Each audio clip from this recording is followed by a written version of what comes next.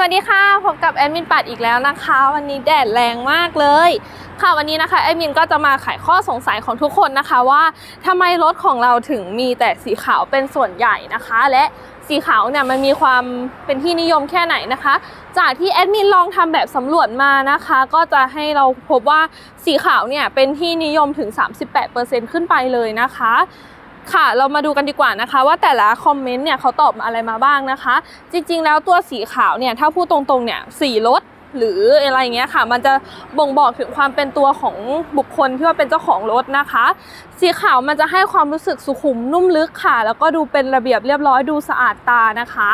ค่ะมาดูคอมเมนต์แรกที่เขาตอบกันก่อนนะคะ ว่าทำไมสีขาวถึงเป็นที่นิยม คนแรกนะคะตอบมาว่า แต่งง่ายดูกว้างปลอดภัย ใช้นาใช้งใช้นานๆไปนะคะ รอยขีดข่วนจะมองไม่ค่อยเห็น ถูกต้องค่ะ ถ้าสังเกตดีๆนะคะ พวกรถสีขาวเนี่ย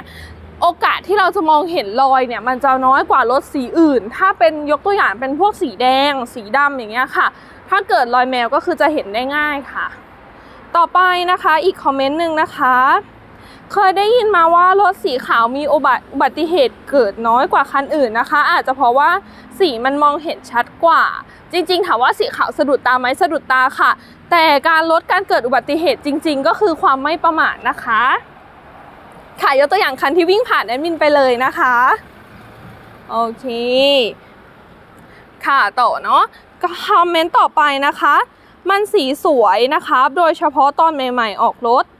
ที่บ้านนะคะ ถ้าล้างก็คือจะขึ้นเงากว่าสีอื่น ถูกต้องค่ะ สีขาวเป็นสีที่เล่นแสงได้ดีกว่าสีอื่นอยู่แล้วนะคะ เรื่องความดูสบายตาก็ต้องยกให้สีขาวและอีกอย่างหนึ่งนะคะ สีขาวเนี่ยหนึ่งเลยราคามันถูกกว่าสีอื่น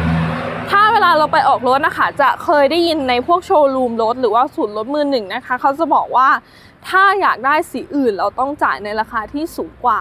ดังนั้นเนี่ยสีขาวก็เลยจัดเป็นสีพื้นฐานนะคะของสีรถยนต์ที่เราเห็นได้ทั่ว ๆ ไปเลยนะคะสำหรับใครที่มีข้อสงสัยอีกอยากให้แอดมินทำข้อสรุปให้แบบนี้นะคะ ก็ inbox เข้ามาได้เลยนะคะ วันนี้แอดมินก็ขอตัวลาไปก่อนนะคะ อย่าลืมนะคะรถสวยรถดีคุ้มค่าคุ้มราคาให้มาที่ประสริฐผลสกลนครนะคะ